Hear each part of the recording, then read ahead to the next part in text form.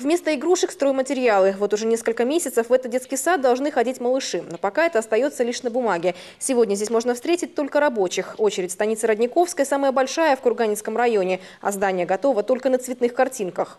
Я бы смотрел бы этот проект еще бы год назад. Но сегодня нужно не проект смотреть, не бумажки, картинки. Мы сегодня это должны были увидеть в натуре. А сегодня в натуре мы видим стройку. Как минимум на процентов 70, она еще, а то и 60 э, готовность, в лучшем случае. А сегодня нам нечего смотреть картинки, они красивые, только на бумаге.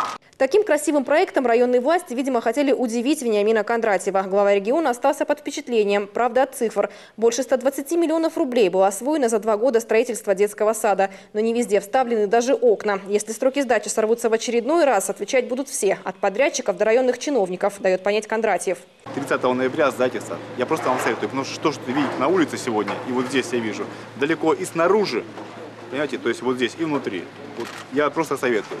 Не шутите с огнем, это дети, с детьми шутить не будем. Детский сад оказался лишь самой заметной проблемой. На станичных улицах Кондратьеву приходится провести импровизированный прием граждан. Оказалось, например, что некоторым ветеранам в Курганинском районе приходится выживать в аварийных домах. А малый бизнес, по словам предпринимателей, районной власти стараются не замечать.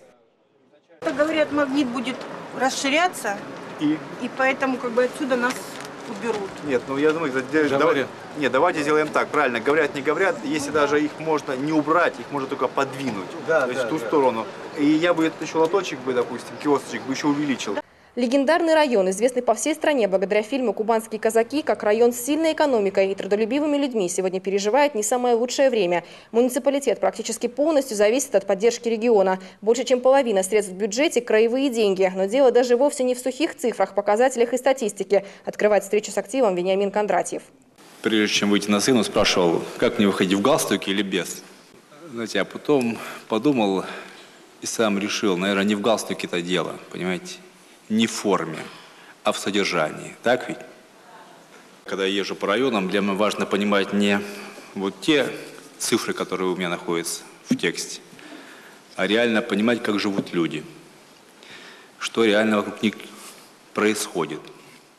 Видят ли они изменения вокруг себя или просто так? Цифры, которые у меня остаются цифрами. Ни о чем не говорящими.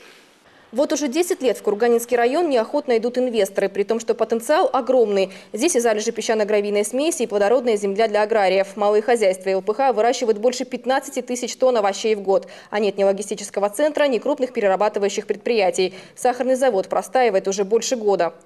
В 2014 году завод прекратил приемку сахарной свеклы. Штат завода уволен. 2015 год тоже мы проехали мимо. Предприятие мое работает э, сахарными заводами с другого района. Это от Белисского района и Слабинского района. Сахарная свекла у нас возделывается, хорошие результаты мы показываем. Значит, собирались круглые столы с собственниками завода. Вот э, Владимир Алексеевич нам устраивал, диалогию устраивал. Приемка была у нас плохая, начались проблемы, и потом он вообще остановился. И вот мы вам, как аграрии, просим вас посодействовать в запуске завода. Я полностью с вами согласен, Андрей Николаевич. Внесена предоплата по покупке этого завода банком «Кубань Кредит». На следующий год э, намерение о том, чтобы перерабатывать свеклу, имеются стопроцентные. Под Максимально окажите содействие, чтобы сахзавод заработал. Решить вопрос со сбытом выращенных овощей и фруктов местные жители пытаются сами. Но вместо поддержки муниципальной власти, наоборот, препятствия, рассказывает предприниматель из Курганинска. Три раза он получал отказ в установке киоска, где планировал продавать местные овощи. Причины при этом не объясняют. Три раза возвращаете по надуманным обстоятельствам, они надуманы, только в чьих интересах они надуманы. Знаете, в чьих угодно интересах, только не в интересах народа, людей, которые хотят реально заниматься предпринимательством, и никогда не будет его. И всегда будет в 44 месте, если такое отношение к власти, к этому предпринимательству. Если для себя место приберегли, так и скажите, для себя место приберегли. Или своих, кто рядом кормится. Поток вопросов к руководителю края не стихал больше часа. Люди рассказывали о наболевшем, передавали записки с проблемами и даже выходили на сцену, чтобы их услышали. Родилась и живу здесь, и мне есть с чем сравнивать. Район имел, сельскохозяйственный имел консервный завод, молочный, сахарный. Э, Теперь нет ни войны, ни грабителей, нет консервного завода. Что у нас? Нет нужды в этой продукции. И нашим жителям некуда сдавать эту продукцию. Точно так же с молочной продукцией. Нельзя допускать до того, чтобы то, что было настроено районом, вот так вот разграбливалось. Вениамин Иванович, вот у нас сидит глава района. Он у нас район на последнем месте в крае. Но зарплата у нашего главы района, как у президента. Это вы можете спросить у него. Если нет, мы вам предоставим документы. Владимир Алексеевич, мы обращались к вам, правильно, по животноводству. Вы врезали, все пастбища забрали, фермеров задушили. И сейчас 900 гектар земли, как его, в СПК э, на Алексеевске вы отымаете. Вот кого-кого, но людей не обмануть. То в этом случае мы получаем то, что мы сегодня получаем в зале. Это ненормально. Не надо шутить с той массой, которая сегодня кричит и не может достучаться. Не надо на нее смотреть сквозь стекло своего автомобиля и сквозь стекло своего кабинета.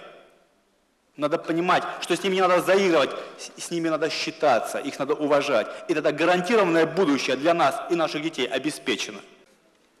Коллеги, я принимаю для себя непростое решение. Э, Владимир Алексеевич, я считаю, что вы, может быть, достойно отработали, именно отработали определенный период, многое сделали для района. Но те моменты, которые у меня лежат в, эт- в этих вот многочисленных письмах, их можно скрывать, можно не скрывать.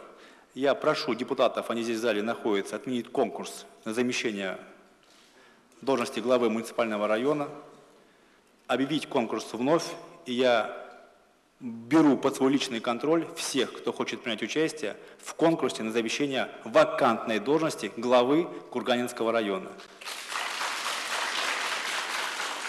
Владимир Ивченко сохранит свои полномочия до назначения нового главы района. Дату конкурса на место руководителя муниципалитета депутаты объявят позже. Мария Крошна, Александр Иванченко, Денис Перец, Алексей Комаров, Кубань-24, Курганинский район.